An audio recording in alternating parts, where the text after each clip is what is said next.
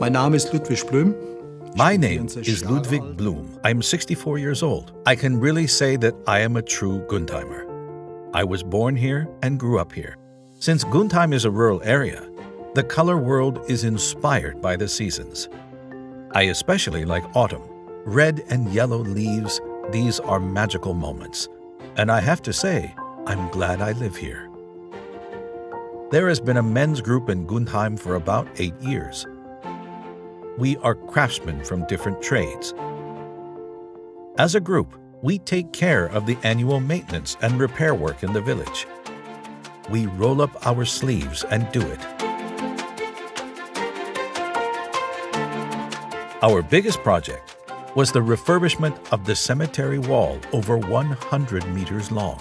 This was a real challenge for us.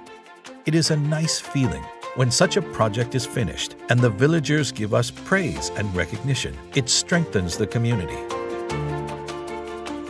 It brings the whole village closer together. For me, peace means that people live together in harmony.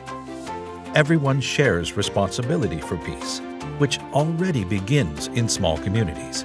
And then social peace will follow.